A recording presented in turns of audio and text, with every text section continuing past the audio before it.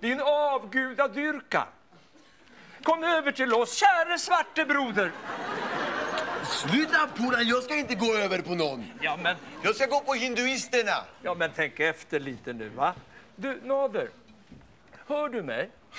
Ja, jag hör dig kompis om du pratar på mig. Ja, så här är det, Nader.